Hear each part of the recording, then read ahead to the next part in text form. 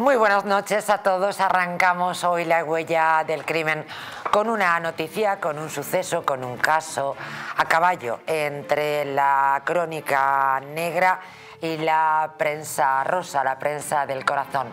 Gerard Depardieu ha sido detenido al parecer por una presunta agresión sexual.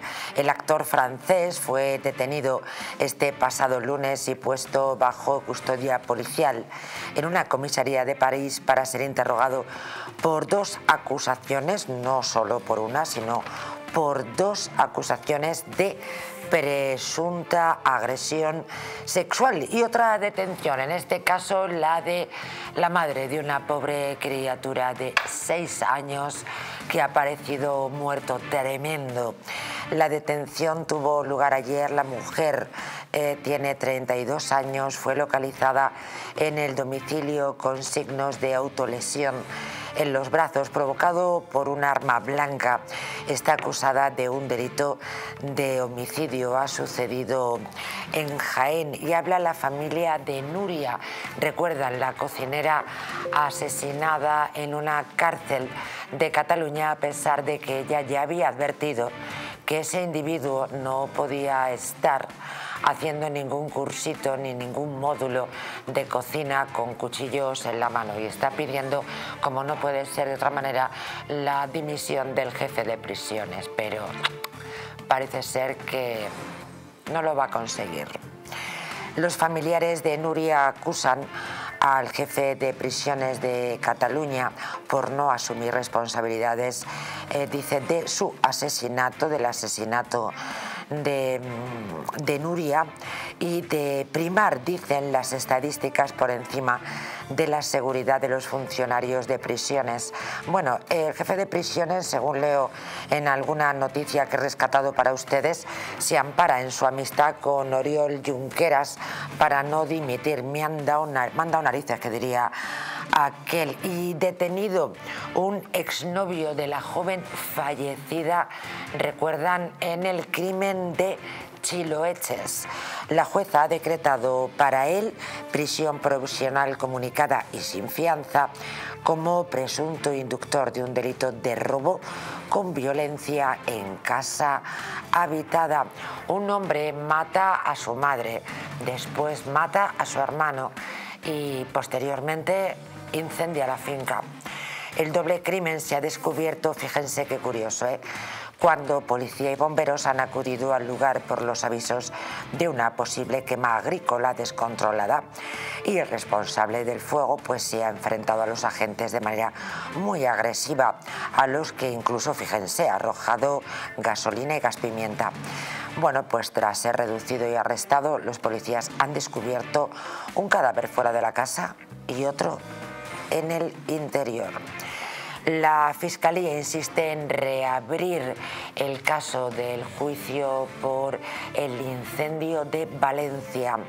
El Ministerio Público considera evidente que el sobreseimiento es totalmente prematuro e insta al juzgado a practicar diligencias para esclarecer cuál fue exactamente el origen del fuego y asesinan a cuchilladas a una jubilada concretamente en Rafolcafer, en Valencia. Al parecer fueron las hijas las que encontraron el cuerpo sin vida de la madre que podría haber sido víctima de, de un tremendo robo. Y los ocupas extranjeros se disparan, fíjense, del 29% en 2018 a eh, a ser la mayoría en estos momentos. Eh, les vamos a dar más datos. Los delitos totales por usurpación y allanamiento de inmuebles se han incrementado, fíjense, de 1.548 a 9.459 en solo cinco años y se cumplen 22 años del crimen de Débora Fernández. Eh, un crimen aún sin resolver y además con solo un investigado. Ante la solicitud de la familia, eh, para que el caso no sea archivado, la jueza amplió la instrucción hasta junio para realizar diligencias a su exnovio. Por tanto, el, caso de Débora Fernández es caso abierto, cuando menos, hasta el próximo mes de junio. Tendremos nuestra historia de misterio, de miedo, a cargo de uno de nuestros invitados. Luego les contamos. Ojo que tiene mucho que ver con el hombre del saco. Buenas noches, bienvenidos a todos. Thank you.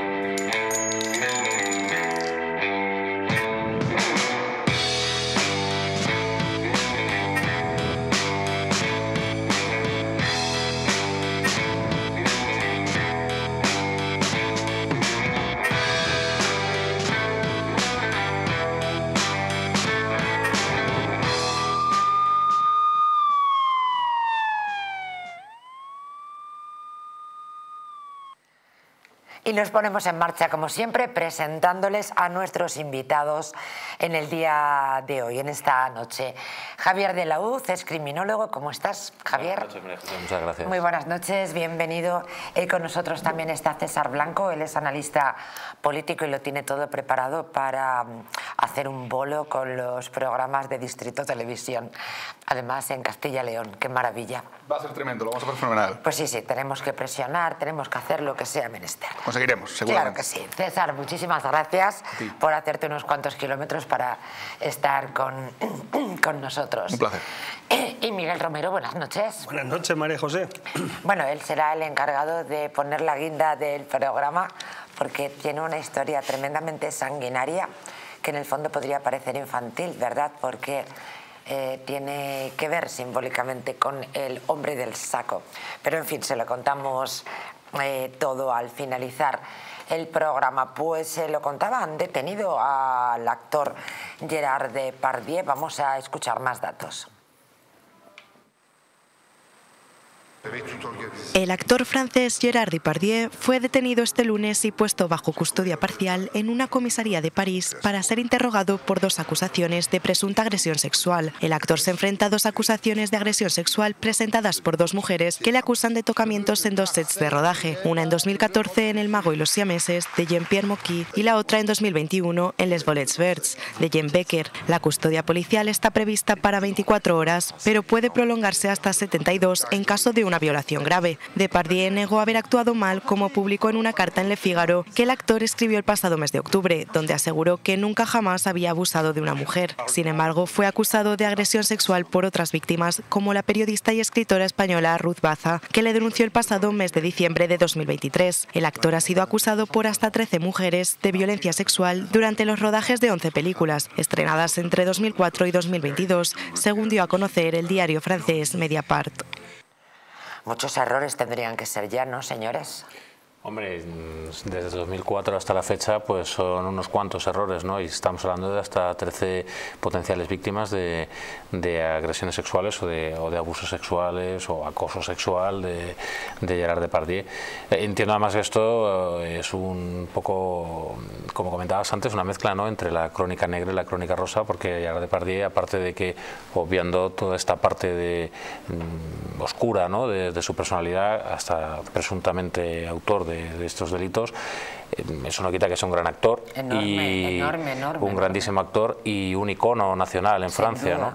Entonces, bueno, entiendo que esto además, pues bueno, causa, causa una conmoción, como supongo, pues equiparable, ¿no? Cuando nos pasó hace escasamente un par de años con Plácido Domingo, ¿no? Todos esos escándalos que hubo en Plácido Domingo de presuntas agresiones sexuales, que además él reconoció pagó que muy había, caro, ¿eh? sí, sí, que además él reconoció que efectivamente había habido algún episodio de, de ese tipo y que le ha costado, pues, algunas cancelaciones, etcétera. No, le costó muchísimo. Eh. Y bueno, remontar con enorme, con enorme dificultad. También iba a el propio domingo, me habéis, recordado, me habéis recordado el caso porque veo similitudes. La verdad es que no sabemos si son verdad o mentira, si la mitad son verdad, la mitad mentira, o si todas son verdad, eso es un hecho Sí, incuestionable. pero hasta donde sabemos, porque vamos a ver, no tenemos más información, pero hasta donde sabemos, Javier, eh, probablemente se va a extender esas 72 horas en las que podría ser que estuviera detenido, dependiendo de la, mm, de la, de la importancia o de la gravedad para utilizar estaba, el lenguaje estaba de la ahora, declaración. ¿no? Ahora, antes de que entráramos en antena, justo estaba revisando algunas informaciones, eh, últimas informaciones que teníamos. Parece ser que finalmente no ha llegado a dormir en los calabozos de la policía francesa Gerard Depardieu. Parece ser que podría haber presentado un informe médico para evitar que estuviera eh, tuviera que pasar detenido esas horas y eh, ha quedado en libertad provisional al menos de momento, a la espera de que se celebre ese juicio que, como comentaban antes, eh, en octubre. Si es cierto, es horroroso, como el caso de Plácido, caso Gerard Depardieu, y si es mentira también es horroroso Terrible. que alguien se apunte al duro para sacar dinero de algo tan horroroso como el abuso y el acoso. Gerard Depardieu diría eh, que puede pasar cualquier cosa, no menos que el mundo se caiga sobre nuestras cabezas. Recuerda a Novelix, ¿no? Comentaba César con, con muy buen criterio ¿no? lo que podría pasar. Otro conocidísimo caso a nivel mundial fue el de Kevin Spacey. Kevin Spacey también fue, ha sido acusado, fue acusado en su momento por eh, agresiones sexuales o conductas eh, mm, relacionadas con el abuso, el acoso sexual eh, durante rodajes, etcétera, etcétera, y eh, así fue cancelado de la serie House of Cards, que fue un éxito global, donde él, él, hacía su papel protagonista, ha sido cancelado de otros papeles y luego ha resultado absuelto de hasta nueve cargos, ¿no? Con lo cual el daño que puede generar una acusación de este tipo mm, pues eh, es a tener en cuenta y sobre todo creo que es importante respetar hasta que se muestre contrario a la presunción de inocencia. Una más, cuando el caso de Spacey era el actor principal de la serie estadounidense más vista y le despidieron, Ah, eso facto. Y el caso contrario y a cabo de todo este tipo de tramas es Woody Allen. Woody Allen fue también acusado de algo así ¿Recordáis, además, y pocas plumas perdió para la acusación que soportaba. Porque además se trataba también de, bueno, y, eh, y su relación con una de sus hijas. Claro, o sea, es que eso es brutal, o sea, eso es una, no es una vuelta de tuerca, es, bueno, el caso es elevado a la enésima potencia. Toreó bien, o sea, no acabó muy Y damnificado. totalmente de acuerdo contigo, a pesar de la barbarie. Hay que recordar un caso también, no sé si estoy en lo correcto o no, me falla la, la memoria. Johnny Depp con su ex también fue acusado de algo similar también y al final salía suelto y le tocó a su ex pagarle una millonada por acusarle también de temas de abusos y demás. Parece ser que en el mundo del celuloide está de moda ahora esto, se lleva bastante de moda. Y con respecto a lo que ha dicho María José, la cita que has dicho de Asteris, esa la dice Abrara Curcis, que es el jefe de la aldea Gala. De que Ah, el es cielo se nos. de que me asusta todo menos que se caiga el cielo encima, que eso no va a pasar sobre- mañana. Se caiga sobre nuestras cabezas, Pero eso no va a pasar mañana. Eso era lo, lo decía Abrara Curcis en los cómics. Es verdad. De Asterix. Eh, habla la familia de Nuria, la cocinera, asesinada en la cárcel. Dice que se podría haber eh, evitado y dice que, que tienen que dimitir. Se lo contaba en dos patadas, si me permite la expresión. Hace apenas unos minutos la cocinera falleció asesinada por un individuo eh, que estaba en prisión, eh, que bueno, que no estaba por jugar al mus eh, en prisión. Ella ya había alertado que ese hombre no podía estar dándole tutoriales ni clases de cocina. Eh, no tiene ningún sentido, ¿no? O sea, es como poner a un pirómano, ¿verdad?, a, defender el fuego. Es que es brutal hasta que el asesino. Vamos a escucharles. Ah, no tenemos... eh, bien, pues parece ser que... mm, eh, dicen que deberían dimitir, ¿no?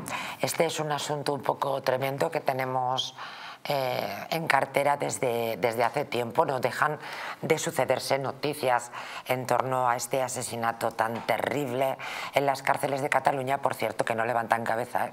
Ha habido muchas manifestaciones, un enorme apoyo eh, por los funcionarios y desde luego una muy poca vergüenza por parte de los responsables de prisiones que se están fumando un puro y añado que al parecer el, eh, el, jefe de prisiones se ampara en la amistad que tiene con Oriol eh, Junqueras para no dimitir. Esto es una de las noticias que he rescatado para ustedes. Bueno, este, este sujeto.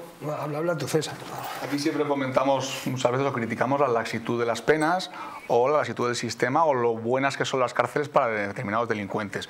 Y quizá hay que añadir a todo esto la posición de los funcionarios de prisiones, que están con los peores delincuentes en las peores condiciones. Muchos funcionarios de prisiones tienen que soportar estar en minoría, estar acobardados, no estar protegidos por otro sistema, quizá no cobrar lo que merecen y que tengan al lado un señor que ya ha asesinado, con cuchillos, trabajando de codo a codo, para... Es que... Eh, y acabo, que el mayósimo responsable de esa cárcel, lo mismo de cuando decíamos que en Madrid, en una residencia de ancianos, hay un director que no se eh, cuida de que viola a una anciana, tendría que estar en la calle. Hay una simetría, no es cuestión de Madrid o pues, Cataluña, es lo pues mismo. pues el director de, esa residencia eh, de, en San Sebastián de los Reyes en Madrid ¿Cómo es posible que me haya olvidado el nombre de la residencia? Por Dios, me va a poner un posit en la mesa. Sí, sí, bueno, en cualquier caso, donde violaron a dos ancianas y además no les creyeron y donde además, y para remate fiesta, aunque la presidenta de la comunidad dijo que, bueno, que se iban a ocupar de que eso no sucediera más, pues a la presidenta le habían metido ya un gol con antelación, puesto que hace apenas mm, dos, tres años eh, un residente hizo denuncias terribles sobre la comida basura que se ofrecía en esa, en esa residencia. En San Sebastián de los Reyes, y ¿cómo es posible que no recuerde yo? A ver si el equipo me hace el favor de, con respecto a este, elemento, a este elemento del que estamos hablando, de nombre Julian, no quiero decir nada, Julian suena a rumano, por consiguiente ahí lo vamos a dejar. Parece ser que estaba en la cárcel por medio de otro asesinato que cometió y estaba, con lo visto, en la cocina intentando aprender a cocinar em, antes de cargarse a esta chica y luego encima el muy cobarde, o el muy, iba a decir otra, un disparate, luego va y se suicida. Eh, yo tengo amigos que son funcionarios de prisiones, son vigilantes y están ahí en las prisiones y solamente saben ellos a la presión en la que están cuando tienen que aguantar a gente o a gentuza de esta. Las alertas, la realidad sobre este peligroso delincuente eran ya máximas y naturalmente esto es lo que escandaliza a cualquiera Imagínense a la familia. Ya había protagonizado otro incidente este individuo en las cocinas cuando pegó un puñetazo a otro eh, interno que le insultó. Fue castigado con 11 días de sanción que no llegó siquiera a cumplir un asesino de mujeres que se quedó a solas con Nuria en estas dependencias con acceso libre a cuchillos. Es, señoras y señores, una idea mía o el responsable de prisiones es un delincuente. Bueno, yo creo que además... O sea, es responsable de este asesinato por incapaz. Y vamos, no voy a decir por dónde me paso yo el apoyo de Oriol Junqueras por resultar demasiado evidente. Bueno, yo creo además, bueno, eh, es necesario aprovechar esta plataforma tan, tan estupenda que tenemos aquí en Distrito Televisión, yo creo que también para apoyar y reclamar la mejora de las condiciones de los funcionarios de prisiones. Yo creo que, como han señalado Miguel y César, son funcionarios que están trabajando eh, con lo peor de la sociedad. Eso está, es evidente. Son presos que han cometido condenados por delitos eh, dolosos en la mayoría, la mayoría de ellos, y asesinos, agresores sexuales, maltratadores, eh, ladrones, de todo tipo de delincuentes y se, trabaja en unas condiciones precarias, en unas condiciones de gran inseguridad, con unos salarios mm, muy mejorables, escasos de medios, escasos de personal, o sea, son poco funcionarios para el volumen de población presidiaria que hay en un, en un centro penitenciario. Y yo solamente quería arrojar un detalle, eh, este año 2023, eh, pasado 2023, según datos de los sindicatos de, de funcionarios de prisiones, se, produjeron una, se produjo una cifra récord de agresiones a funcionarios de prisiones y se produjeron ni más ni menos que 508 agresiones a funcionarios de prisiones, 10 de ellas de carácter grave. Y eso nos da una medida del el trabajo que desempeñan los funcionarios de prisiones y como ellos eh, utilizan siempre sus redes sociales, en su hashtag, tu descuido nos puede matar. Es decir, se merecen una atención eh, del Ministerio Interior y de la Secretaría General de Instituciones Penitenciarias para que les dé los medios y el apoyo legislativo, o sea, normativo que necesitan para darles el respaldo jurídico adecuado. Muchos delincuentes se siente impune en la calle y sigue sintiéndose impune en la cárcel. Es decir, se chotean de la policía y luego se chotean de, dentro de las cárceles. Efectivamente, se chotean, detienen a la madre de un niño de, de seis años ha sucedido en Jaén y créanme, la historia es escalofriante. Nos la cuenta y la analiza Polonia Castellanos. Muy buenas noches. Hola, hola Polonia. Vaya, parece que tenemos problemas. Eh, vamos a ver si podemos recuperar a Polonia Castellanos. Se trata de un suceso que, como les decía, ha tenido lugar en Jaén y la Policía Nacional bueno, ha investigado eh, esta, esta, muerte de un menor de, de solo seis añitos. La madre, al parecer, fue mm, localizada en el propio domicilio eh, donde habían encontrado a la criatura muerta con signos de autolesión. La mujer tiene 32 años y, bueno, pues han encontrado el cuerpo sin vida del menor y junto a él pues a su madre que en estado muy, muy grave fue trasladada al hospital. Hay varias líneas de investigación. Hemos recuperado ya a Polonia Castellanos no tenemos a Polonia, pues... Bueno, aquí creo que tenemos que muy, muy, muy, muy serios porque es un ejemplo más de la desigualdad en la que vivimos. Sabéis el concepto de la violencia vicaria. Solo es aplicable la violencia vicaria cuando el niño es asesinado por su padre. Da igual el sexo del niño, sea niño o niña. Si le mata su madre no cuenta. En cuanto a violencia vicaria. No está atendido a las estadísticas. Es una cosa que muy grueso en desigualdad. Debería haber una igualdad real que da igual quién le mate al niño. Vamos con Polonia, yo creo. Polonia Castellanos, ahora sí, muy buenas noches. Muy buenas noches. Ahora te escuchamos con enorme nitidez. Decíamos que es una historia realmente sobrecogedora. Exactamente, porque todavía no es claro lo que ha pasado eh, además, la madre todavía no ha fallecido, pero parece ser, hombre, que todo indica que la madre eh, acabó con su pequeño y que después trató de suicidarse. Y yo fíjate que difiero eh, como madre. para mí, siendo madre, me parece más grave que seamos las madres las que asesinemos a nuestros hijos, al revés de lo que parece en la sociedad, ¿no? que parece que cuando es el padre es un drama y que cuando es la madre no pasa nada. Yo te puedo decir que como madre me parece que es peor, porque las madres eh, yo creo que tenemos un vínculo especial, que hemos llevado a nuestros hijos en nuestro vientre.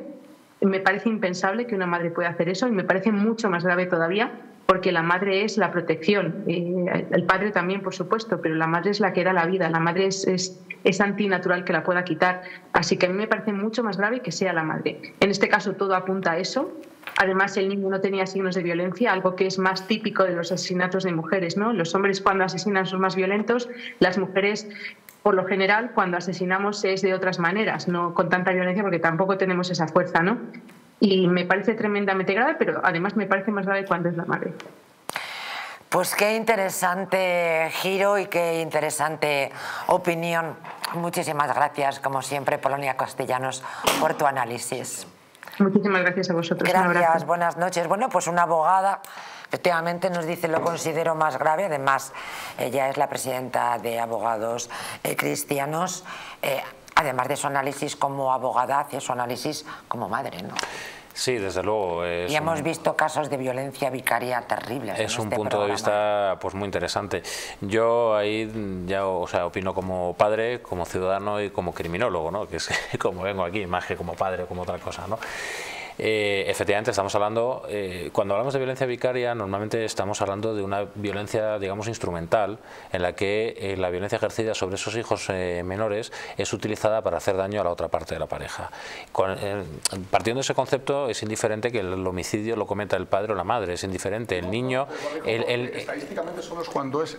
sí, sí, sí, pero digo desde un punto de vista. No, no, o sea, no hablo del tratamiento mediático o ideológico. Yo quiero decir, cuando estamos hablando de matar a un, a un niño para hacerle daño al otro progenitor, da igual cómo le llamemos. Pero es una instrumentalización de la violencia. ¿Cómo se sabe al instante el asesinato que es por hacer daño a la otra parte? ¿Cómo? ¿Cómo se puede saber al minuto siguiente de que un padre mate a su hijo que es por hacer daño a la otra parte? Pues, pues eh, eso, lo, eso, lo conocemos, eso lo conocemos a través de las eh, circunstancias que, que, se pueden dar eh, o que tenemos conocimiento en homicidio. Por ejemplo, yo en este programa he hablado de un caso paradigmático como es el caso de, de, José Bretón. José Bretón es una persona que mata a sus hijos para hacer daño a su pareja. No es capaz de asumir que su pareja haga su vida, que no... Que, que... Mm, Disculpa, que hay un problema. No hay ni un solo caso en España en el que cuando la madre mata al hijo se considere violencia vicaria. ¿Por qué no se considera así? No lo entiendo. Yo tampoco. Y os pongo un ejemplo a corto plazo. Es, vamos a ver, aquí es que claro, cuando, cuando eh, en la mm, ciencia, y la criminología es una ciencia, entra lo ideológico, cuando lo ideológico toca las cosas, lo contamina y tenemos que ser objetivos. Es decir, ser objetivo la criminología con independencia de consideraciones mediáticas o ideológicas. Eh, un, crimen, si está cometido por el padre o por la madre, pues será violencia vicaria igual lo comete el padre o lo comete la madre. Debería ser. Pero Hace cinco días dieron los datos. Feijó y Yolanda Díaz, para que nos vamos a extremos o a ponernos a polos diferentes. Y ambos contaban ocho cuando hay trece. Solo cuentan cuando ha matado el padre y evidentemente no conocemos cada caso, si ha sido por vengarse de la madre o tal. Pero en este caso no sé si hay algún tipo de información, porque hasta, se están haciendo hasta, hasta donde sabemos, con la información que tenemos, que estará la policía haciendo sus pesquisas y sus indagaciones, no, no tenemos más datos. No ha trascendido nada, no Ha trascendido. Hay, hay, ocasiones en las que, el, y esto sí está eh, científicamente demostrado, en los que estos homicidios que cometen o asesinatos que cometen las madres, madres sobre sus hijos menores, también se habla de suicidios compasivos se trata de que la madre se quiere quitar la vida y decide matar a su hijo porque considera que su hijo sin ella no va a poder vivir. Quiero decir que estamos hablando de motivaciones diferentes. Se puede matar para utilizar al, menor, para, hacer daño a, la pareja o expareja, o por cuestiones de otro tipo. Hasta el momento, en este caso, no sabemos qué es lo que ha sucedido. Correcto, pero mediáticamente las televisiones más populares, al minuto siguiente de cada caso, cuando mata a la madre, lo llaman suicidio ampliado, que se parece a lo que tú acabas de decir. Sí.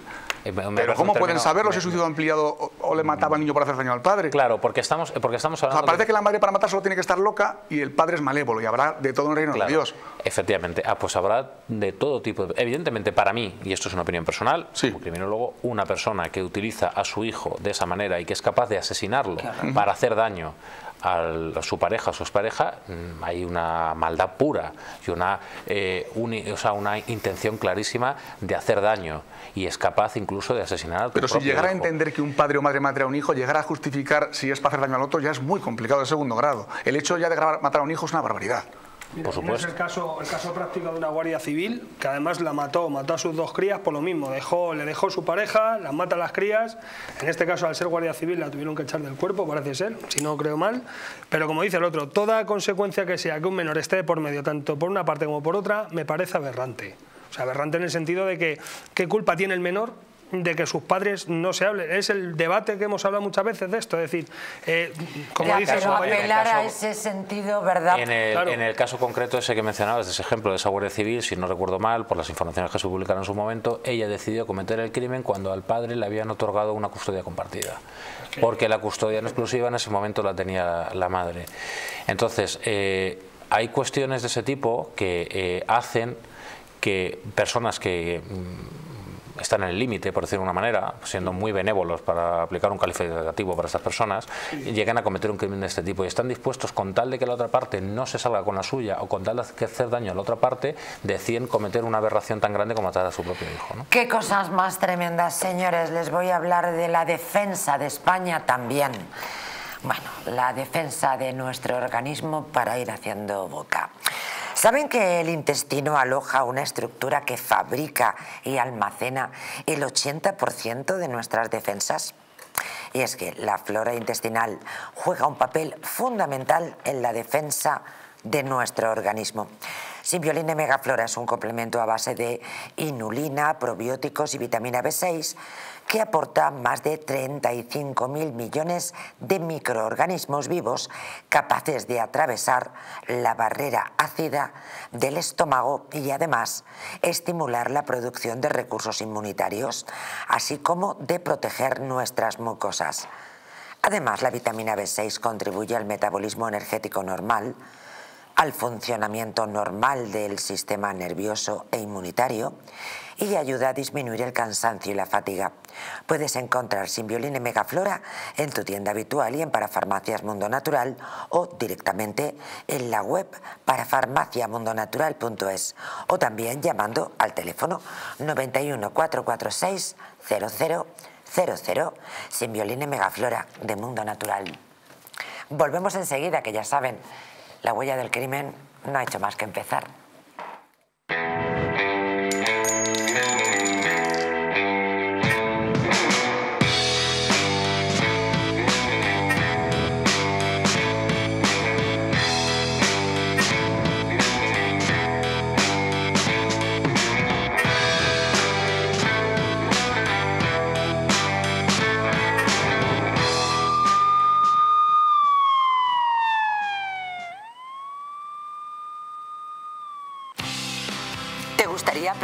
Esos kilitos de más?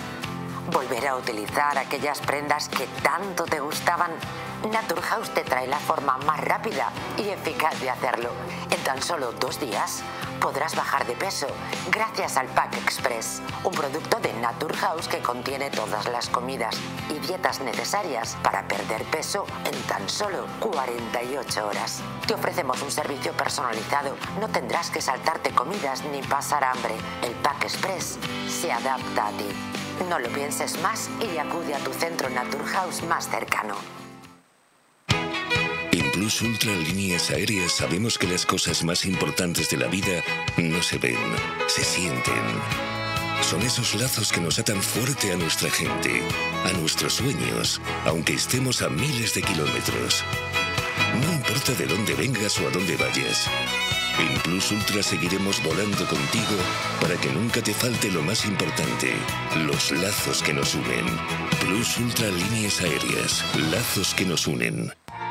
¿Una noche larga de fiesta con los amigos? Has terminado cansado y con una copa de más. Ahora en exclusiva en Naturhaus, Staff Detox. El remedio que acaba con esas resacas eternas del día siguiente. Acércate a tu tienda más cercana o visita naturhaus.es. Hotel Las Dunas, un lugar mágico en el corazón de la Costa del Sol. En primera línea de mar, situado en un oasis de armonía, tranquilidad, enfocado en la salud y bienestar de nuestros huéspedes. Desconecta del estrés y la monotonía del día a día. Estancias con programas exclusivos y personalizados de salud, rejuvenecimiento y control del peso. Elegancia y bienestar junto al mar sin renunciar a la actividad y la vida saludable. Descubre las Dunas Hotel Health and Spa, el más exclusivo de toda la Costa del Sol.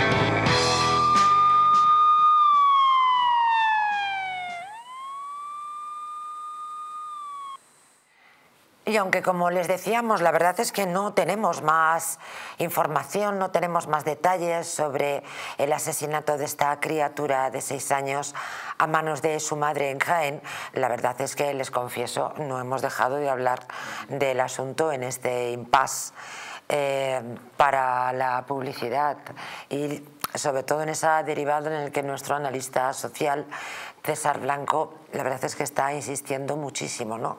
Que es bueno pues, eh, pues ese, esa igualdad que no existe, ¿no? Y nos estaba dando unos datos terribles, ¿no? Sobre asesinatos. Por favor. Si le mata a su madre parece que no tiene derecho a nada y si le mata a su padre aparecen las estadísticas de los políticos la realidad. El año pasado el 63% de los menores de edad, no vamos a decir niños, asesinados por sus padres eran por mujeres, eran por su madre, vaya. 60, casi dos terceras partes de los menores de edad, no decimos solo niños asesinados, que generalmente son niños, no, no tienen 17 años, tienen 8, 6, 5, 4 bebés, han sido matados por las madres que es, como decía Polonia, como un extra de inhumanidad. Ya es meterle un plus. O sea, ya lo del padre es terrible. Está fatal. Pero la madre con su vínculo, ¿verdad? Durante nueve meses, ese cordón umbilical del alma profunda es, increíble. Polonia, ¿no? Nos, resulta mucho más inconcebible, o sea, bueno, a cualquier persona normal nos resulta inconcebible matar a un niño.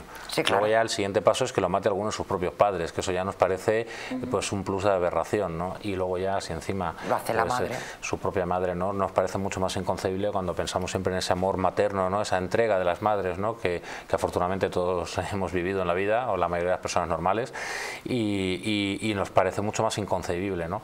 Eh, pero eh, la realidad es que esto sucede, sucede por desgracia. Eh, mm, nos encontramos con personas que quizá viven desnaturalizadas, por decirlo de alguna manera, ¿no? encontrar un término así que nos permita entenderlo y de, intentar entender lo, incomprensible, ¿no? que es eh, quitar la vida a un niño y más si es tu propio hijo. ¿no?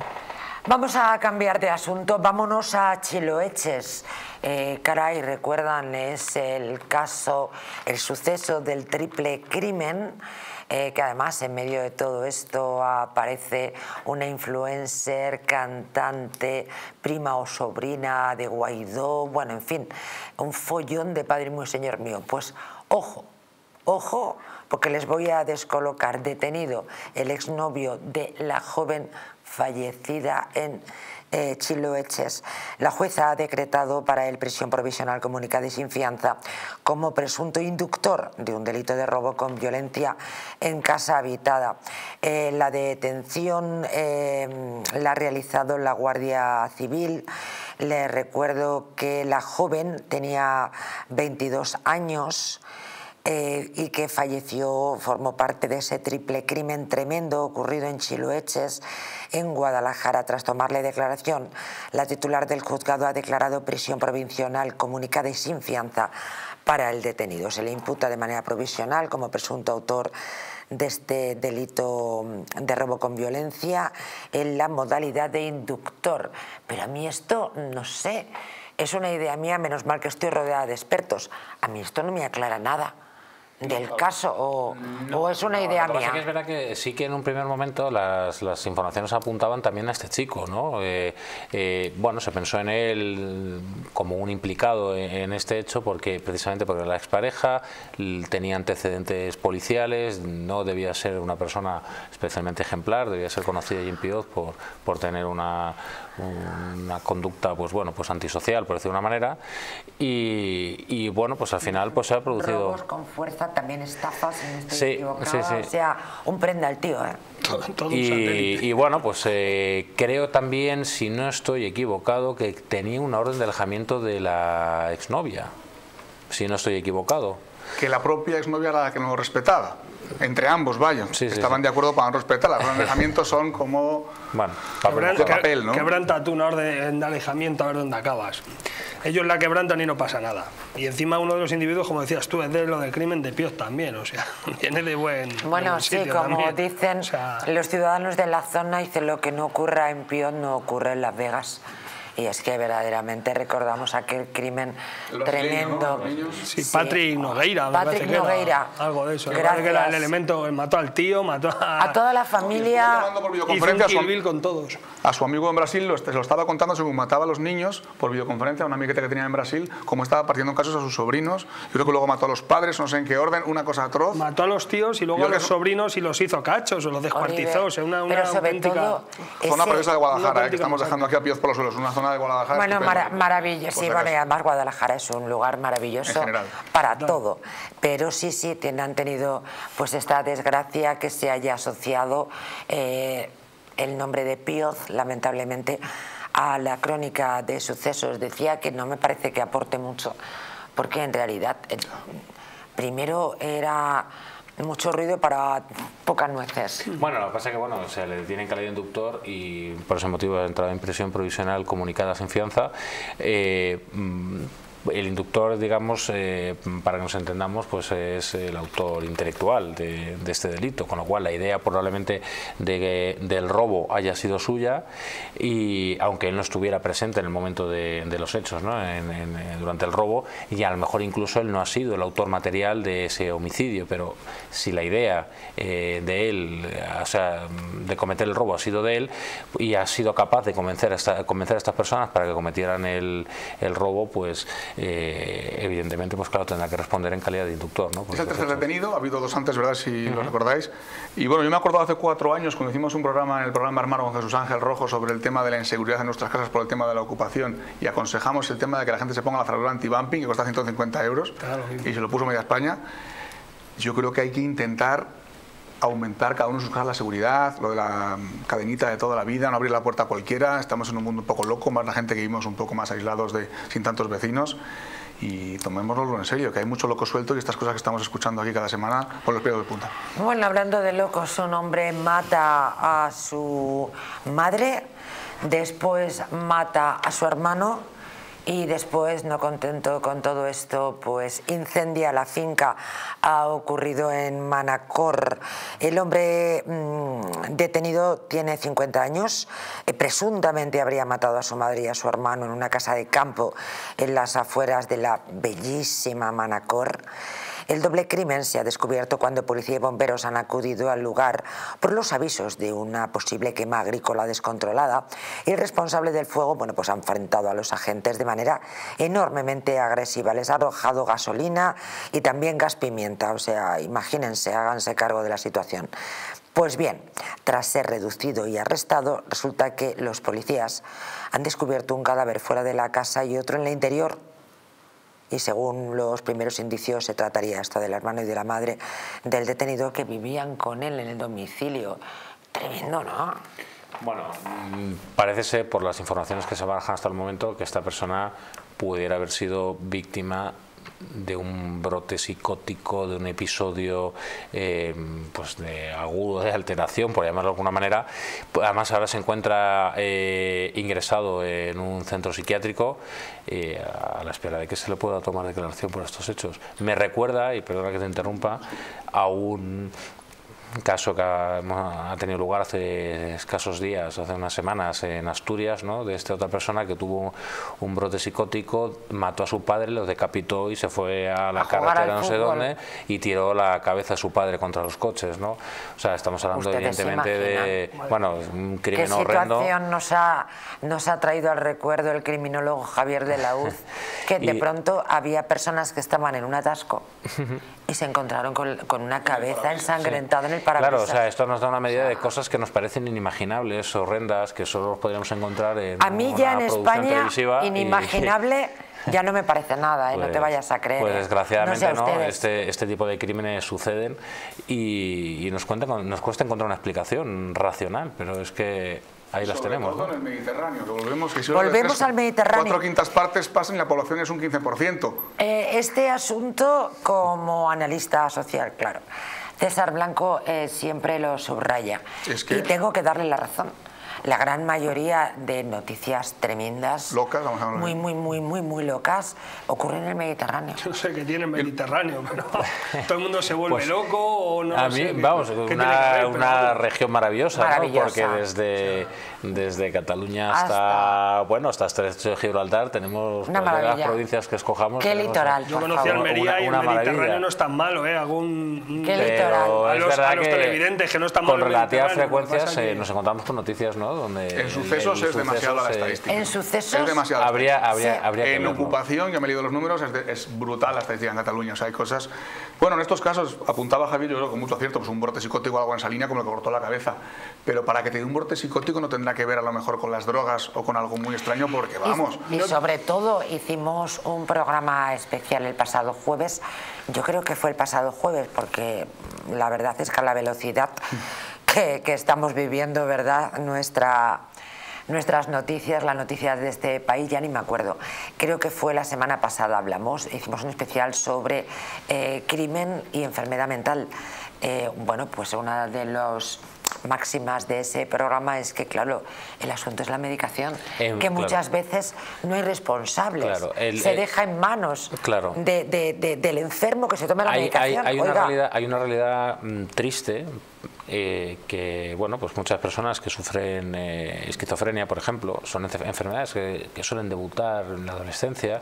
A veces eh, están en estado latente y se producen por un día un consumo agudo de alcohol drogas o de ambas cosas ahí se encuentra ese primer brote psicótico y son personas que necesitan desgraciadamente para toda su vida para mantenerse mm, sanas o equilibradas o constantes mantenerse medicadas ¿qué sucede? muchas veces estas personas dejan de tomar la medicación, ellos siguen creciendo, viviendo, haciéndose mayores y las personas que son sus responsables, sus padres, se convierten también en personas mayores.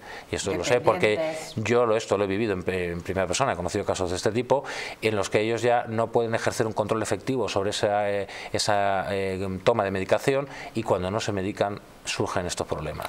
Al que se sumaba, como bien dice César Blanco, el asunto que podría también cursar con algún tipo de drogas. Ahora mismo la droga más potente y peligrosa en el mundo, con diferencia, es el fentanilo. Un día podemos hablar sobre eso. Yo lo he conocido en San Francisco, la costa oeste, si no lo ves, no te lo crees lo que está pasando allí. En Filadelfia es otra liga eso. En, ¿eh? en, Distrito Televisión, de manera muy especial, en el mundo al rojo, con Jesús Ángel Rojo, se ha hablado muchísimo de esta droga y después nosotros también. Eh, Uno de los orígenes en algún momento hemos dedicado. De esa droga fue una medicación. Originalmente, para gente que tenía dolores muy agudos, era para eh, atenuar el dolor de muchos pacientes operados de cadera, mm. gente que venía de la guerra.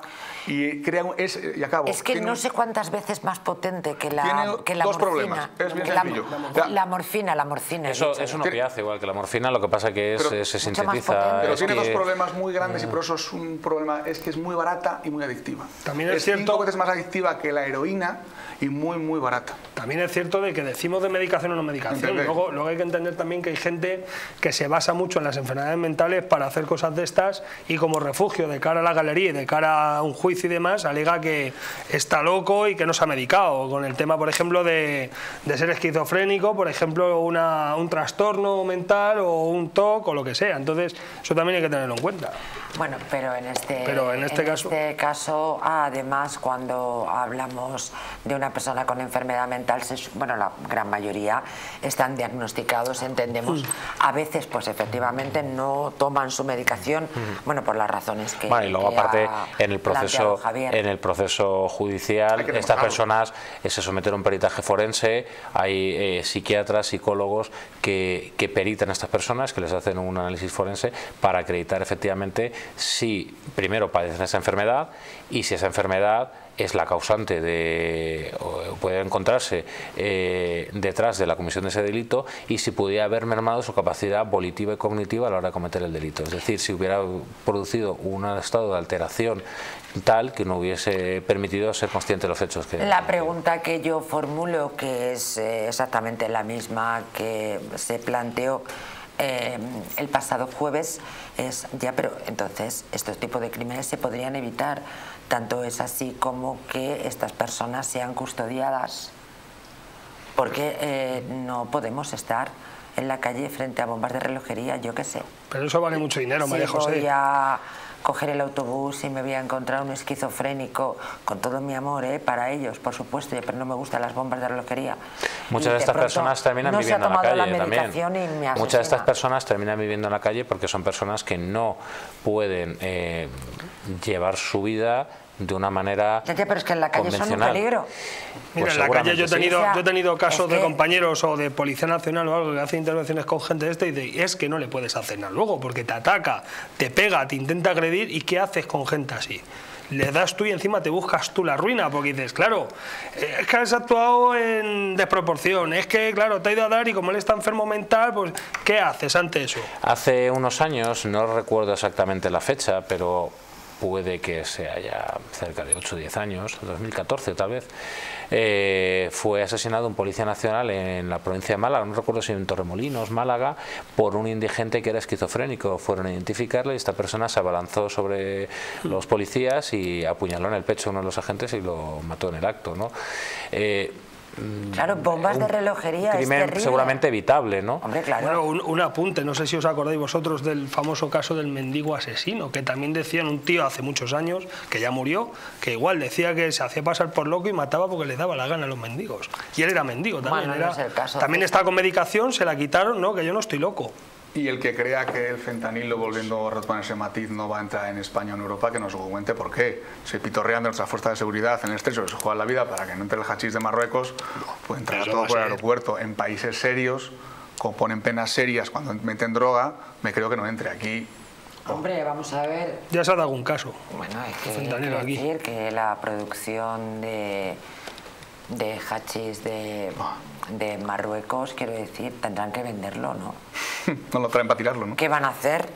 ¿Qué van a hacer con los excedentes? Pues han encontrado un mercado estupendo en España. ¿Por qué? Habrá que preguntarse al presidente del gobierno, el que decidió ayer seguir. Eso sí que es un suceso. Pero, pero además inquietante. Ese ese sí que es un suceso. Bueno, pues si decimos que hemos detectado, bueno, principalmente César Blanco.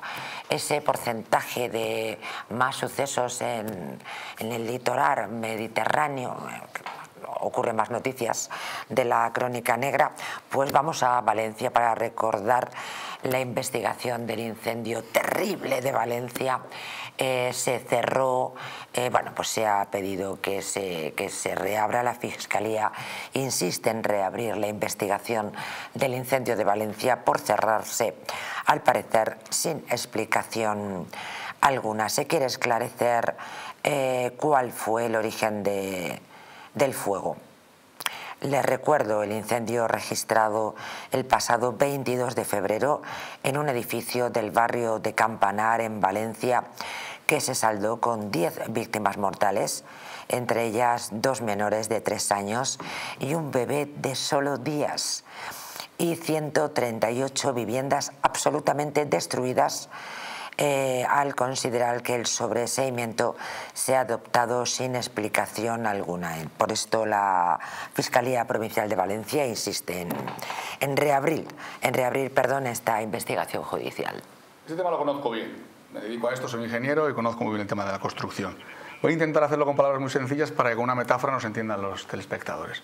¿Por qué cuando se incendia un bosque decimos se han incendiado 20, 200, 2000 hectáreas? Porque no hay cortafuegos, porque no hay una zona que se ha desbrozado, se ha limpiado para que solo se incendie pues eso, una, hectárea, por ejemplo. ¿no? no se deja ni pastrar a las ovejas, ni hay cortafuegos. La fachada ventilada, que es lo que tiene esta fachada, que básicamente es como una fachada con una cámara de aire, que el aire es un muy buen aislante. Fijaros que las ventanas en nuestras casas, las ventanas modernas, tienen una cámara de aire, tienen un cristal, aire y un cristal. El aire es un muy buen aislante. Esa fachada es totalmente correcta. El problema es que no estaba bien instalada, no era culpa del material. Tienes que tener un cortafuegos entre cada edificio para que si se quema, se queme solo una, ni siquiera una planta, una letra, digamos. Y ahí se expandió. O sea, el aire hizo de conducción del fuego, multiplicó el fuego. Pues Vamos a buscar más información. Fernando Sancho, buenas noches. ¿Qué tal, María José y compañía? Hola, Fernando. Encantados de recibirte, eh, como siempre. Bueno, parece que, no sé, es de justicia, ¿no?, que se reabra. Bueno, claro, porque, a ver, parece ser que, eh, no sé, no se desarrolló un proceso de instrucción prácticamente, ¿no? Simplemente hubo un informe de, de la Policía Nacional, supongo que también del equipo de, de los bomberos en los que se descartaba que hubiera sido un incendio intencionado, entonces digo, bueno, pues se cierra, pero es que no es el no, no es lo único que, o sea, a ver, el hecho de que de que pueda ser o no intencionado no es lo único, por lo cual ese incendio se puedan derivar responsabilidades de tipo administrativo o responsabilidades penales. Hay muchos otros aspectos que, hay que eh, tienen que ser en cuenta, ¿no? O tenidos en cuenta. Es decir, el, el, edificio, me imagino, en su día, ¿no? Cuando pues habría que ver los, los materiales que estaban aprobados en el momento y que eso llevara las firmas pues de un de, de, un profesional, ¿no? Me imagino de, de arquitectos, ingenieros, como el que tenemos en la mesa. Que todo lo que lo que está firmado está conforme seguía conforme a lo que el, el, el profesional certificó que era, que era posible y luego pues, no se hiciera ningún otro tipo de variación que pudiera comprometer la seguridad del edificio. Eh, bueno, eh, eh, es que como, como digo, y como decía la persona que, que me parece que ha hablado, que ha hablado Blanco, sí.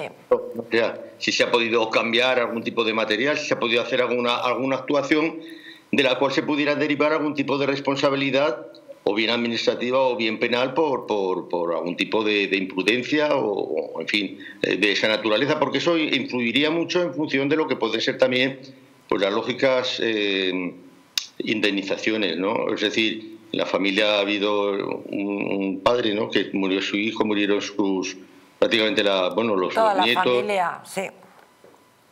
Tremendo, ¿no? Pues la persona dice, bueno, ¿qué es esto, no? De que de repente dice, no, es que no ha sido no ha sido intencionado, le doy carpetazo. Bien, bueno, va, pero vamos a ver, no ha sido intencionado, pero vamos a ver cuál ha sido el origen del fuego, eh, eh, exactamente por qué, qué circunstancias han podido llevar a ello, ha habido algún tipo de negligencia que se pudiera derivar. Y pedir responsabilidades, lógicamente. Realmente hay, muchísimas, hay muchísimas cuestiones en el aire que en un caso, el otro día me pasó igual, a estas horas, perdóname que, que tengo no te preocupes, es verdad. Eh, Fernando Sancho tiene alergia hasta primavera 2024. de siempre, de siempre. Aparte de que tengo un problema, bueno, toda la vida tengo congestión nasal eh, permanente mm, hereditaria, ¿no? decir que es un ni, tema te, ni te preocupes. Los genes, son los genes, pero es que ya las, la primavera es terrible. o sea que... Ni te preocupes, Fernando, ni te preocupes. Bueno, entonces lo que, lo que estaba diciendo, o sea, que hay muchos, muchos aspectos que determinar que no tienen por qué, que son independientemente de si el fuego, eh, en fin, fue, fue algo que intencionado por parte de alguien o pudo haberlo, como decimos, algún tipo de negligencia o algún tipo de, situación en el edificio que no tenía por qué ser en el momento del desarrollo del fuego, que podía derivarse también algún tipo de responsabilidad. Ya digo, de tipo administrativo o de tipo penal, pero por lo menos eso se tiene que establecer hasta, hasta el final, es decir, ahí hay que llegar a, saber exactamente todo, todo, todo al dedillo, ¿no? ¿Cuál fue el origen del fuego? Esto es lo que se está pidiendo, que yo creo que no es solicitar mucho. Muchísimas gracias, Fernando Sancho, a mejorar y a disfrutar de la primavera. Gracias. Un abrazo. Un abrazo enorme. Hemos de distinguir entre el origen del fuego y las consecuencias del origen del fuego. ¿Recordáis hace cuatro años cuando un puente se cayó en Italia? Ponte que alguien se ha contra la columna y se cae el puente. No tendría sentido, ¿no? El origen con las consecuencias. Dicen que si la máquina de aire o de un toldo eh, explotó, bueno, pues eso nunca... no se puede caer un edificio por eso. No se puede caer un edificio por eso. Está mal instalado el material. Ahora, ¿quién es el responsable de permitir que eso se instale así? Pues no sabemos, la constructora yo miro mucho para el ayuntamiento por permitir algo así, eso con una mini inspección durante la obra se ve físicamente que el hueco, como se ve aquí, en un momento dado se corta, es una inspección básica que evidentemente o no se hizo. Y luego una cosa por complementar lo que dice Fernando, que estoy totalmente de acuerdo con él. Porque algo cumpla las normas y esté firmado por un ingeniero o por la madre superiora, no quiere decir que esté bien hecho. Nos firman muchas cosas Sánchez y el rey que no están bien hechas. Entenderme la metáfora. El ejemplo que has puesto es un poco... ¿La madre y el rey? no, no, podemos. La firma entre el rey y el presidente es un poco... Es decir, que porque alguien firme algo, porque un médico te diga usted tiene esto, no tiene por qué ser palabra de Dios. Claro, muy bien dicho. Pues tenemos un poco todo, es mi instinto. Muy bien dicho. Además, al final... Que dudar de la duda. Claro cualquiera se puede equivocar, o sea, hay malas praxis en todas las profesiones y puede haber un error humano en, pues, en la emisión de un informe técnico o en la instalación de, los materiales, etcétera. Además, yo tengo la duda, yo no sé, además, César, tú lo sabrás mejor que nosotros, eh, en las inspecciones técnicas de edificios, con qué frecuencia se hacen, si este edificio ya estaba... un edificio muy moderno. Si este edificio, claro, le tocaba, no le tocaba, y la licencia... Tenía que haber tenido una inspección durante la ejecución de la obra para darle la licencia de habitabilidad, que es que puedas vivir allí. Eso se hizo, alguien lo firmó, que tendría que estar con un pie en la cárcel, es una barbaridad, es que ha muerto gente, no se ha caído una teja, es una barbaridad, porque luego en edificios viejos se pide cada 15 años hacer la IT, es como, es como la ITV del coche, IT, Inspección Técnica de Edificios, pues que te pide el ayuntamiento, la fachada del tejado, cosas básicas, ¿no? que no te dan de paso. Esto no, no, tendría paso en una IT, básica, mirándolo, con una mínima cata de quién lo hizo. Así que yo creo que alguien del ayuntamiento tiene que estar muy asustado, que firmara ese papelito que a lo mejor ni fue a verlo. Lo triste es que no va a salir nada. Lo taparán y dirán que bueno, fue un accidente, lo archivarán y ahí se quedará la historia y la causa, como pasa siempre. bueno, esperemos que el recurso de la Fiscalía y de la familia de los fallecidos pues, pues prospere y aunque no haya efectivamente un, un origen delictivo, ¿no? un origen criminal, como apuntaba el informe pericial de la policía, pues sí que se pueden deducir a las responsabilidades y en caso de que las haya, pues las personas que que son responsables pues paguen por ello. ¿no? Que, no, que, no, nos engañen, esto no es normal, que porque se explote un radiador no se puede quemar un edificio, que no nos hagan como una como de molino. Y además, ¿de qué manera? Y además Fernando Sancho estaba haciendo referencia a una historia familiar absolutamente sobrecogedora, que es ese ese, ese, hombre que perdió a su hijo, a su nuera y a los dos niños. Y además ese, este caso, ese asunto, lo trajimos nosotros a la huella del crimen. Claro, eh, el hombre dice, mi familia, mi hijo y sus hijos muy pequeñitos. Un bebé de días. Claro, de días. Eh, fueron los propios bomberos los que no les dejaron salir. A lo mejor habiendo sido desobedientes. ¿eh? Claro. Mm. No, no, pero es verdad. A mí me pasó lo mismo cuando puse la noticia. A lo mejor habiendo sido desobedientes e instintivos hubieran salvado la vida. No es que instemos a la gente a hacer lo que se le ocurra, pero tampoco los bomberos son todos superiores como las películas. Un incendio así en Valencia no tiene que ver con lo que has dicho anteriormente.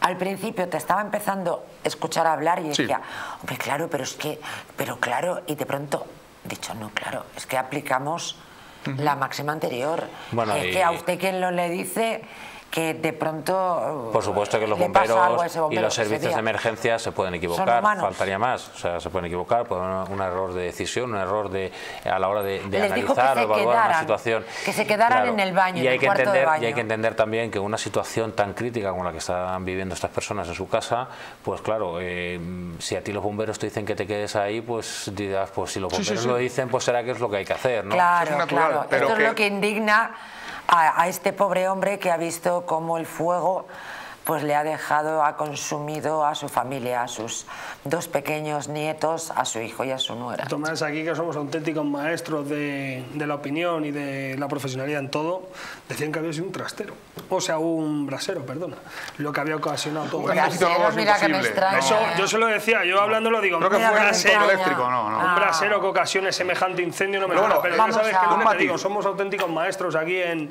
en opinar y bueno, sabemos de todo. Pero mira una parte, aunque, aunque provoques un incendio en una vivienda, no se quema un edificio. Esto es. Entender eso. se- Y hablo un ingeniero. Ea. Eh, vamos a hacer un alto en el camino, llega el verano, esto sí. A pesar de Sánchez, aunque Sánchez haya decidido quedarse, que eso sí que es un suceso, el verano llegará. Y si llega el verano, la pregunta es lógica. Eh, ¿Te gustaría perder unos kilitos? ¿Sí? ¿Te gustaría? ¿Te gustaría volver a utilizar aquellas prendas que tanto y tanto te gustaban? Pues Naturhaus te trae la forma más rápida y eficaz de hacerlo. Fíjate que en tan solo dos días podrás bajar de peso gracias al Pack Express. Es un producto de Naturhaus que contiene todas las comidas y dietas necesarias para perder peso, ojo, en tan solo 48 horas. Te ofrecemos un servicio personalizado. No tendrás que saltarte comidas ni tampoco pasar hambre. ¿Por qué? Porque el Pack Express se adapta a ti. Además, por la compra de un Pack Express te regalamos un bote de crema centella asiática. No lo pienses más y acude a tu centro Naturhaus más cercano. Les esperamos para que nos acompañen en la recta final del programa.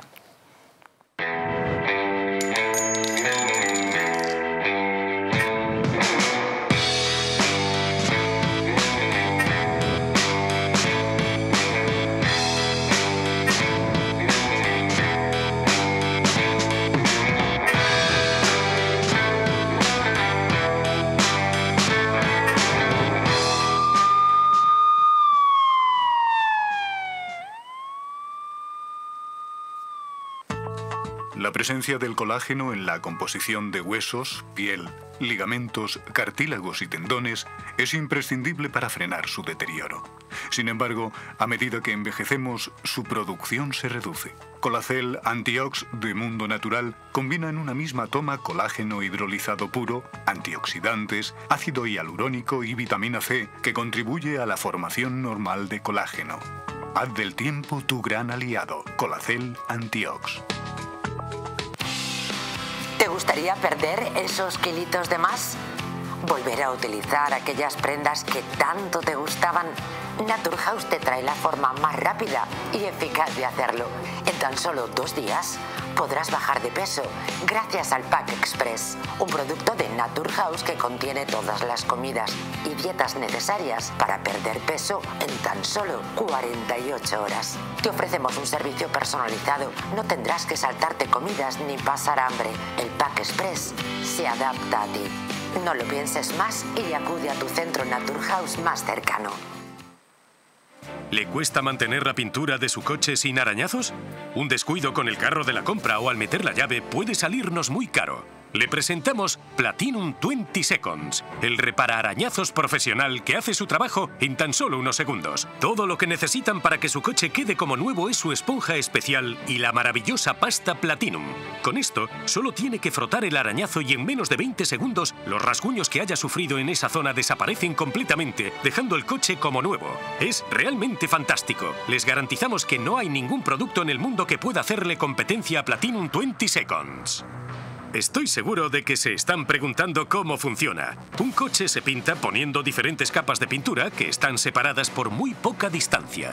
Cuando le aplicamos Platinum 20 Seconds con su esponja especial, las partículas de las diferentes capas se esparcen y la pasta especial las vuelve a unir sin que se pierda el color original mientras pulimos con la esponja. La pintura queda homogénea de nuevo y el arañazo desaparecerá. Y como mucho, en 20 segundos de tiempo, el arañazo habrá desaparecido y su coche quedará como nuevo. Con Platinum 20 Seconds conseguirá eliminar todos los arañazos de su coche en un tiempo récord. Recibirá su Platinum 20 Seconds con una cantidad suficiente como para arreglar más de 100 arañazos en el coche o en la moto que funciona en cualquier tipo de pintura y color. Con su pedido también recibirá la esponja especial que le garantizará los mejores resultados. Todo esto por el inigualable precio que aparece en la pantalla de su televisor. Pero esperen que esto no es todo. Todas las personas que realicen su pedido en los próximos 5 minutos recibirán un segundo set de Platinum 20 Seconds completamente gratis. Dese prisa en hacer su llamada porque esta oferta es exclusiva para la televisión. No pierda más tiempo y llame ya.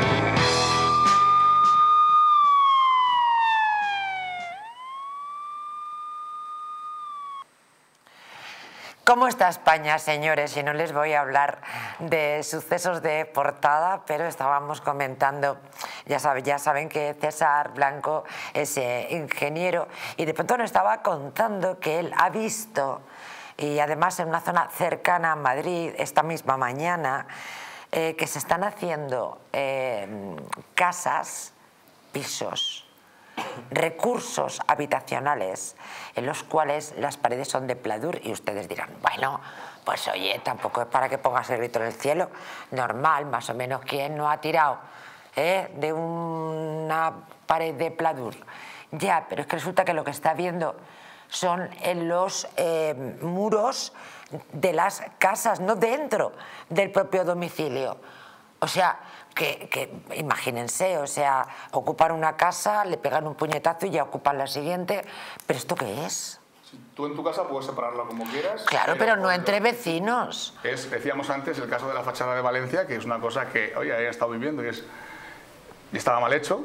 Pues en Madrid, en Torrejón de Ardoz, vamos a contarlo, no vamos a hacer tampoco la dirección, un edificio de hace 12 años, que todas las paredes entre vecinos son de pladur. O sea, que haces un taladro y pasas donde la vecina. es una ilegalidad como un pero que alguien ha ido a inspeccionar eso y lo ha dado por bueno. Alguien ha firmado un papel que no era ni el Rey. Ese tío, el que firmó ese papel, tiene que estar despedido y sin derecho a paro. Debería.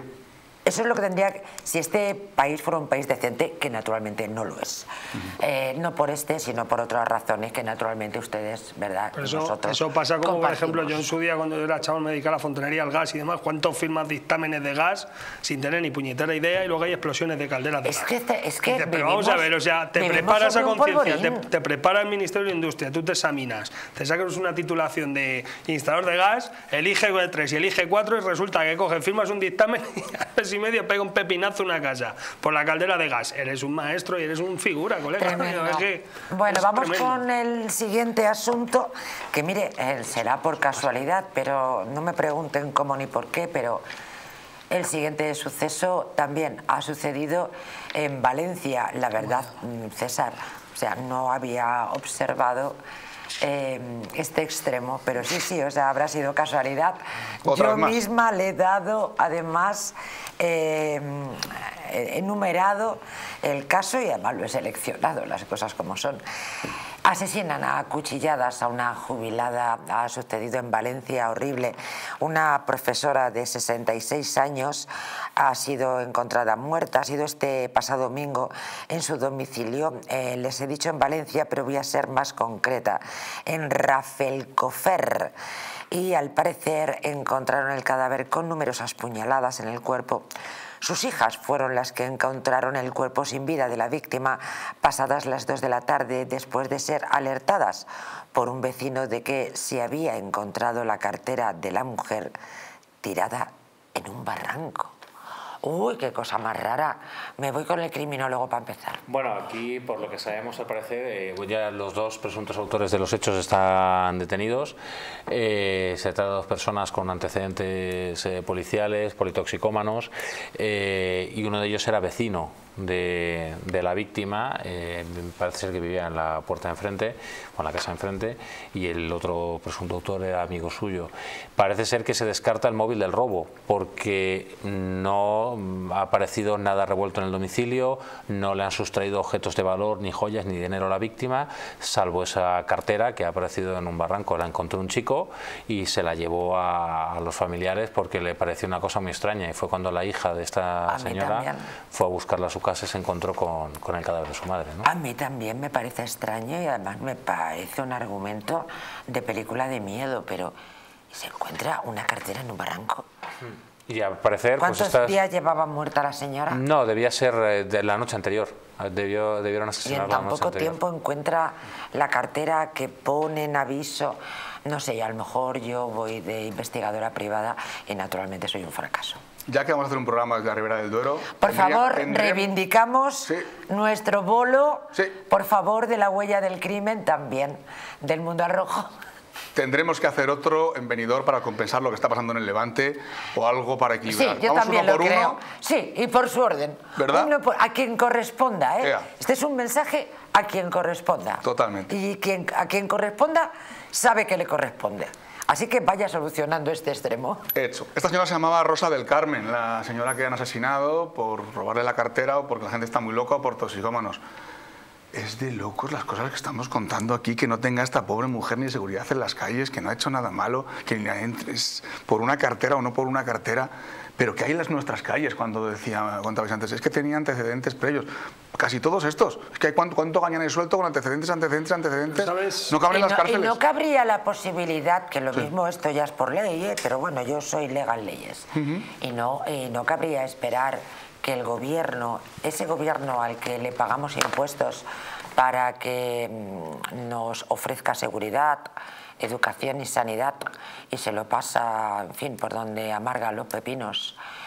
Eh, mm,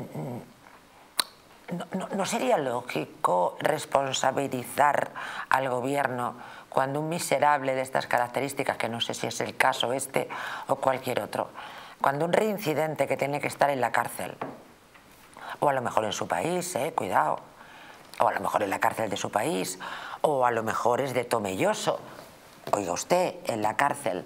Bueno, cuando estos malnacidos, que nunca deberían haber visto la luz del sol, eh, están en la calle, cuando tendrían que estar en prisión, no cabría esperar que el gobierno tuviera algún tipo de responsabilidad, ya que es incapaz, además de perverso, pero esto no es materia de este programa. ¿Sabes qué pasa? Que...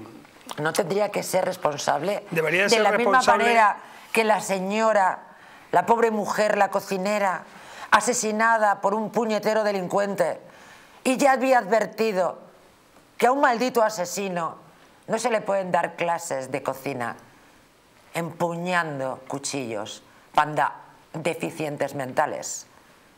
Mensaje al jefe de prisiones de eh, la prisión que corresponda. Es más, jefe de prisiones de la Generalitat, panda canelos, necios, si no sabéis torear, ¿para qué os metéis?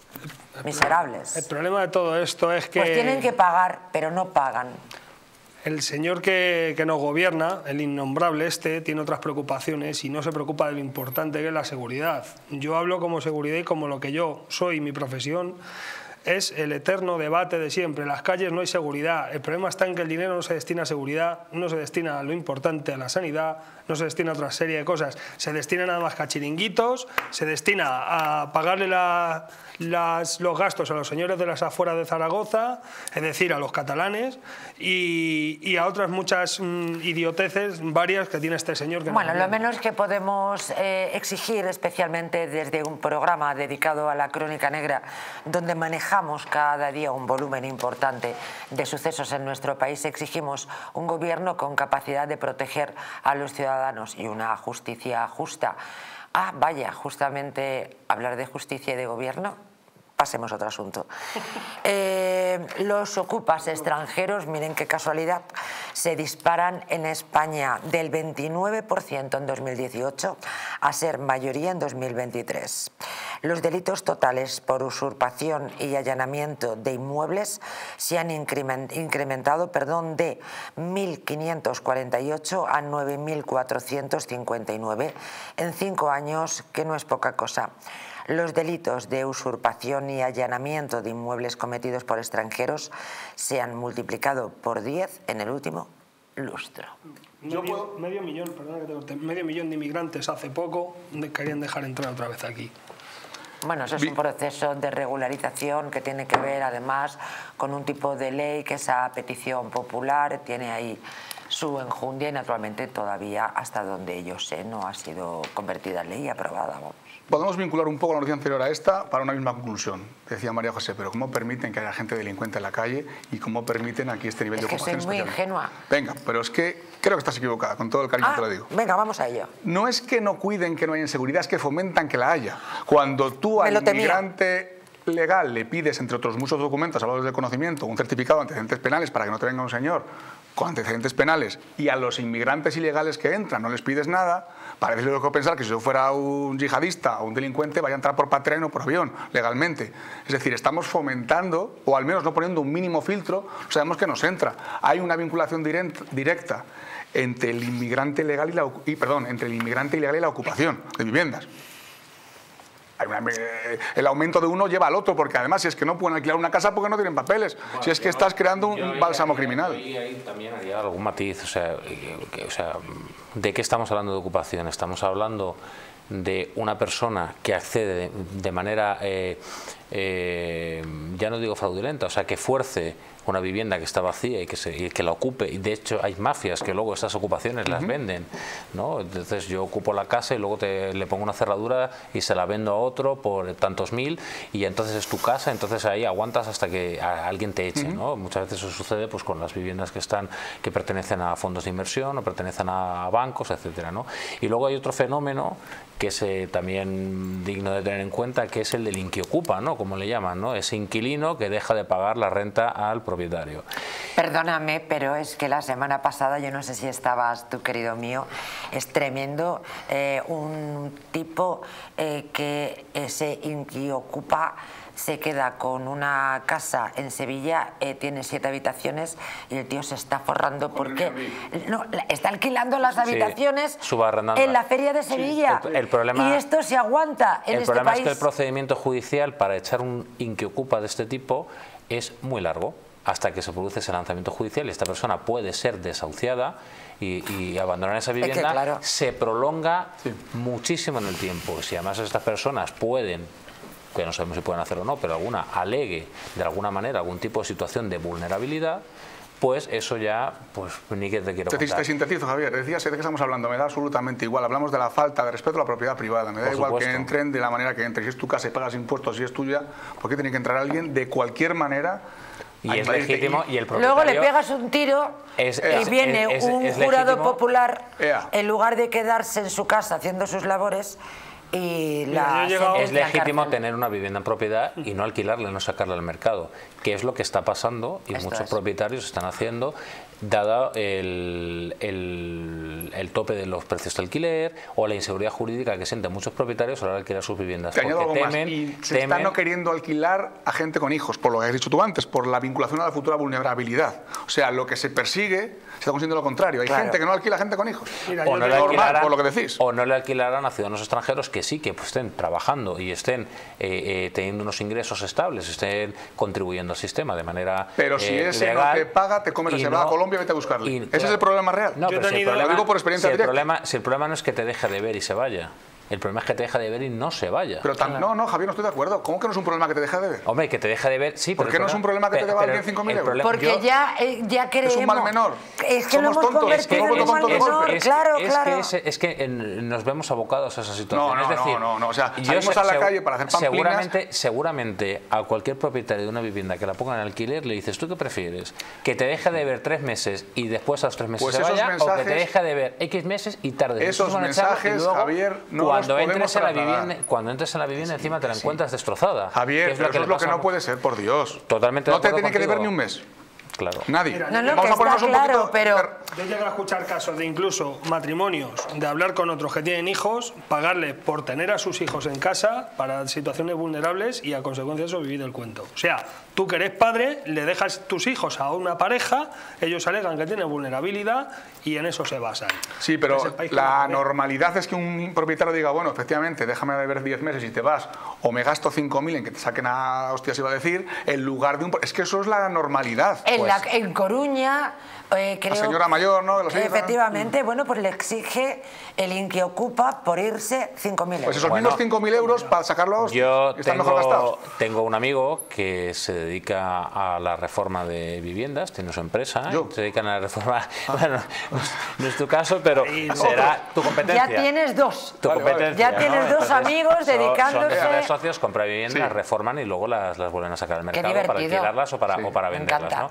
Y entonces ellos se encontraron esa situación de un fulano les ocupó la vivienda y les exigía a cambio 3.000 euros por marcharse. Y ellos le pagaron los 3.000 euros con tal de que se marcharan. Pues te doy un consejo para tu amigo. Cuando haga eso, que compre la vivienda, primero la rompa, la desescombre y la deje desescombrada para no poder vivir nadie. Y que cuando arranque la obra no la pare. Pero no deje una vivienda en obra. ¿Me entendiste? Esto es la selva, lo dijimos el otro día. Esto es Sí. Claro, una al, barbaridad. fi- al final, al final a esta sociedad le sale más barato pagar 3.000 euros a un individuo para que se vaya a la vivienda voluntariamente y acceder así al chantaje y tú puedes seguir continuando con tu actividad que entrar en un litigio eh, para ver si logras echarlo. Pero ¿por qué no nos unimos como sociedad contra algo que estamos todos de acuerdo? ¿Por qué los políticos del- no, no nos unen y, es, y, en y- algo que es y- una y evidencia? la otra, y la otra es que como el Estado no ofrece una solución al problema de la ocupación, surge la iniciativa privada y nos encontramos con empresas que se dedican a la desocupación de las viviendas con toda la polémica que genera alrededor, que yo no entro si está Menos bien o mal que está mal, existen, pero claro, porque el Estado no ofrece, y una no ofrece una cuenten. respuesta, no ofrece una respuesta. Eso pasa igual, por ejemplo, con los problemas de inseguridad ciudadana. ¿Cuándo surge la iniciativa privada? Cuando el Estado no ofrece Javier, y con la sanidad Una- todos tenemos seguro privado. No, no, pero yo voy- con- pero yo voy, si por a ejemplo, a poner tomadura de pelo. te iba a poner el ejemplo que sucede, que sucede muchas veces en otros países, afortunadamente en España no es habitual, no suele suceder, pero las patrullas vecinales. Vecinos que salen a la Espérate, calle Cuestión estoy de acuerdo. Cuestión de tiempo. Estoy totalmente temen, de acuerdo con Miguel. el Estado, que es tiempo. quien debe garantizar la seguridad ciudadana, No la garantiza. no la garantiza. Claro. Pues en Bueno, este caso es igual. Las patrullas vecinales, dices tú, en Metro tuvimos no hace mucho un caso de que ya eh, ellos mismos perseguían a los delincuentes porque la policía y los vigilantes no podían hacer nada. O sea que lo de las patrullas vecinales, espérate que no tardando mucho saldrán, a- saldrán a flote. La gente está harta, está cansada de esto. ¿A qué esperamos para echarnos todos a la calle? Vamos a acabar con esto. No puede ser que yo tenga un piso en propiedad o mis padres cuando lo tenían se te metan en casa, te lo ocupen, se ren en tu cara, te tengas que hipotecar en pedir un préstamo para echarles y cederle al chantaje, como dice el compañero, y luego encima coger y te canto un merengue también. O sea, Una cosa muy rápida, 10 está bien segundos la nada más. Estábamos hablando antes del caso de este señor que le entraron en su casa, disparó para defenderse ahora un jurado popular lo quiere meter en la cárcel. Y le dice la otra parte, hombre, habéis llamado a la policía. ¿Sabéis lo que hace la policía si os veis en esa situación? No puede hacer nada. Es de- no, déjame acabar. Yo estoy en mi casa, escucho la puerta, cojo el teléfono, desde que yo marco a la policía hasta que me pone una parada, hasta que viene la policía 15 Bueno, minutos. Bueno, bien. vale. Pero cuando viene la policía, ¿sabéis lo que hace? Pone la sirena un kilómetro antes para que se vaya y no tenga que trabajar. La policía pone la sirena para echar a los malos, los espanta con... que te haga un apunte. Lo de la sirenita, porque es que parecen tontos. Te da igual la sirenita. sirena o no. El problema está en que la policía las- y los que están de, de las empresas de desocupación, aunque quieran, no pueden. Volvemos a lo mismo, si es que no pueden hacer nada y aunque pongan la sirena, ¿qué va a hacer? ¿Tú te crees que un perturbado o alguien que quiera ocuparte una vivienda? No, pero en el caso con- de este señor, si por algún motivo hay un helicóptero, justo al minuto siguiente sacan al señor, hombre. Lo que pasa es que hasta que llega a la casa del pueblo este hombre le han matado dos veces. Sí, pero que. Ay, no, no mientras es que tú fácil. vas llamando a la policía entre... Te da tiempo eh, a tomarte un- eh, tal, La operadora, EPS, que parece Vodafone. No sé qué, eh, son Vodafone, es una, y- es y- una Bueno, yo, mi consejo, no, no estoy en absoluto de acuerdo con esa afirmación, César. Que no Eh, tarden en llegar la policía a este Que señor. no tardan en cogerte un teléfono, Hacemos una prueba un Yo- día aquí en directo. Vamos. Mira, decimos diré- que hacemos Venga, una prueba en directo. Os, reto. Yo, también. eh, el tiempo de respuesta de una patrulla policial en una ciudad como Madrid o en una ciudad Javier, grande aquí en el es- distrito, entro en un es- día como a robar por aquí y es- llamas a la policía. Es, es muy, muy bajo. Evidentemente. ¿Dónde, ¿Cuántos está, dónde, dónde- hay, dónde hay un problema, por ejemplo, de respuesta? Por ejemplo, un problema lo tiene la Guardia Civil en las zonas rurales. Hay un puesto de la Guardia Civil. Señor está en una zona rural, con- hiperrural. con una o dos patrullas, en el mejor de los casos, para, para atender no sé cuántos pueblos. Entonces, ese señor que está en la montaña, ¿qué hace? Separados. Sí, sí, eso, eso, eso es otra cuestión a valorar. Pero estamos hablando de No la respuesta policial. Vale, pero podemos hacerlo aquí en el centro de La- la Madrid. re- la respuesta policial. Hacemos Entonces, un día el truco. Yo, me disfrazo de ladrón. Entro por la puerta a matar a María José. La mato Y con yo cariño. llamo. Ella tú te dejas matar. Y tú Vale. vas llamando. No, no, primero yo voy llamando. Y- No, pero primero escúchame a mí que haga ruido. Ah, perdón. Y por cierto, mi consejo, cuando uno quiera llamar a la policía, debe llamar al 091, al 062, que es la Guardia Civil, o al 092, que es la Policía Local. El 112 es un, es un teléfono de emergencias Que luego que además coordina. cuestan una pasta. Eh, Eh, resulta que yo no lo Pero sabía. cuando uno quiere pero hablar con la policía, tiene que llamar a la policía. Pero ¿cuánto tiempo crees que tiene que pasar desde que marcas con el número hasta que entra Es la una policía? vergüenza. Igual tardan 15 minutos, 10 minutos, te han matado 20 veces. Perdona, perdona. Pero- O, o 20. Y después te dice, llame en otro momento porque esto está colapsado. Pero eh, tenemos que entender No, que no, yo ni, no hay, entiendo ni nada. hay un policía en cada esquina, ni hay un policía en cada esquina, Claro. Ni Ya. hay... ¿Y qué haces tú como, agre- como futuro agredido? ¿Esperar a ver si viene la poli pronto rápido? Pues mira, suena, suena un poco Sí, pero eso, a selva pero y eso, suena un ya, poco pero a eso, no, eso pero... no es culpa ya de la policía. Hay cosas que no son. No, que no, no, son no culpo a la policía. Pero si no culpamos a la policía. Culpo que el sistema es como ese, hay que adaptarse. Defenderte Un y momento, protegerte por tu un momento, un momento, por favor. No se malinterprete. Un momento, naturalmente, por Dios, a quien se juega la vida. No. O sea, en este programa es sagrado. Ahora, la basura que gestiona, no les voy a decir yo lo que hacía. con Mira, lo que no puede ser es que la policía en Ferraz cargue contra inocentes. Si haya 276.000 Va, eso es policías... historia. No, bueno, no te pongo un ejemplo. Y luego No, tú no, llamas no, por porque te no. está pasando algo en Por la calle... Pues no lo, politicemos. Ah, Y si No, estuviera Rajoy pasaba no. lo mismo. Bueno, No, no, no. te No, politicemos, No, no, no. fuera, no. Es, no va a haber un policía en cada... Efectivamente, por eso entre que te entra el malo, que no tiene nada que perder y tú tienes todo que perder, Todo. te tendrás que defender. Claro, porque O sea, la policía no va a llegar. Yo me defendería, vamos. defensa, Hombre, yo eh, naturalmente. Yo me defendería. Entre la muerte y vivir en un país donde te ocupan la casa, pero tienes que pagarles la luz, el gas, el teléfono y por supuesto ahora hay una nueva iniciativa, creo que es de Sumar, que tienes que hacerle una compra en Mercadona. Y también, y le canto un merengue. el- vamos a ver, un- el problema, o uno de los problemas que tenemos aquí también es la seguridad jurídica. Es decir, eh, La inseguridad jurídica, ¿no? bueno, sí, de- depende si vemos el vaso medio problema lleno, es la medio inseguridad, ¿no? Claro, Sí, el, no, o sea, el propietario, el propietario de la vivienda no tiene una seguridad jurídica.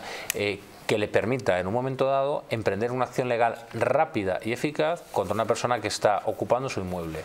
Y ese es el problema. Y ahí Por eso solo igual- compran rusos y chinos porque esos sí que lo saben hacer. Solo están comprando en plan con pasta, de 10 en 10, rusos Estos- y chinos. Esos no... estos esto los- que estamos hablando no lo escuchan. Se la A ver, pasan. eh, Juan Otaliga.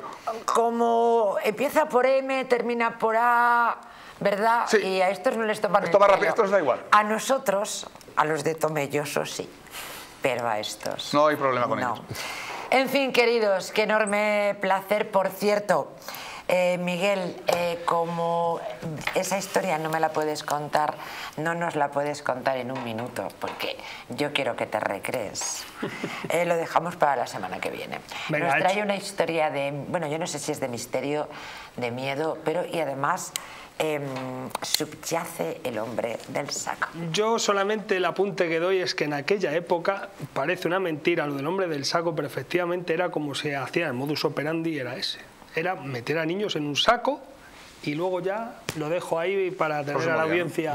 ¿Y dónde, dónde sucedió? O sea, el hombre del saco fue un señor real. A ver, el hombre del saco como tal, como lo conoce todo el mundo, eran realmente, se dedicaban eso, a secuestrar niños y decían que les metían en sacos o en bolsas o tal y se los llevaban. Y luego hacían auténticas barbaridades con las criaturas. Que uno de los motivos de lo del tema este del mantequero famoso de la tierra de, de Gador o lo, del, o lo del asesinato este de la sierra de Gador viene de eso, de que secuestraban al niño, lo metían en un saco y cuando ya querían conseguir el objetivo de la criatura le abrían la cabeza con un, con un canto, con una piedra o le machacaban el cráneo directamente y, y hacían auténticas barrabasadas con ellos. Pero que estos, estos son... Estamos hablando de 1910, pero vamos, que 1910 a 2024 se llama No des ideas que como está la sociedad... Yo Sí, digo una historia, cuidado, eso sí, eso sí, lo quiero matizar de que esto es una historia ¿Nunca lo has hecho? real de 1900. No, no será por ganas, pero no, no lo he hecho.